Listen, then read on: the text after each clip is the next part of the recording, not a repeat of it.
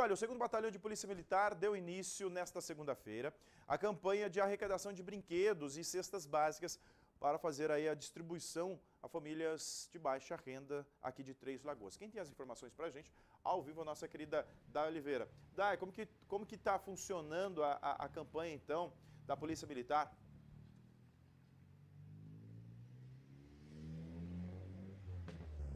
Olha, Rude, quem quiser ajudar, sentir no coração essa vontade de ajudar uma família em situação de vulnerabilidade que tanto precisa fazer o Natal mais feliz, já pode fazer a sua doação de cesta básica ou de brinquedos para serem doados às crianças dessas famílias de baixa renda.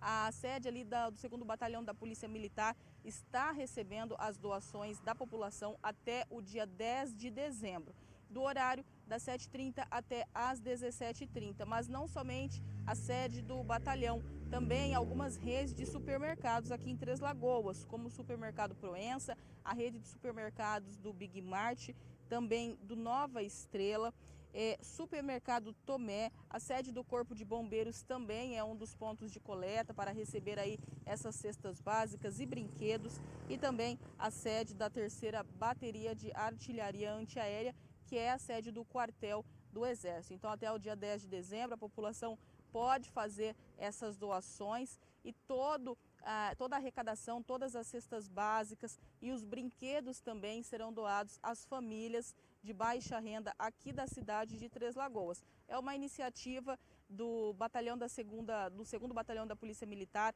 juntamente com alguns parceiros aqui na cidade, empresários, todos esses que estão fazendo também essas coletas, né, estão recebendo as doações da população, entre outros. Não vou citar o nome de todos aqui, porque a lista é realmente grande, mas o segundo Batalhão da Polícia Militar não está sozinho nesta iniciativa. Uma campanha muito boa, então nós temos aí, ó, Papai Noel dos Correios, tá?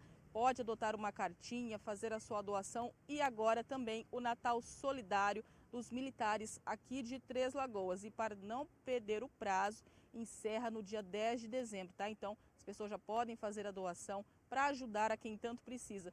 Talvez, né, a gente ache no nosso coração que é algo muito simples, mas para quem tanto está precisando, isso pode fazer uma diferença imensa, porque tem muitas famílias que infelizmente não terá o que comer no Natal. E a doação minha, sua, de todos nós pode fazer a diferença na vida dessas pessoas. Eu volto com você aí no estúdio, Rude.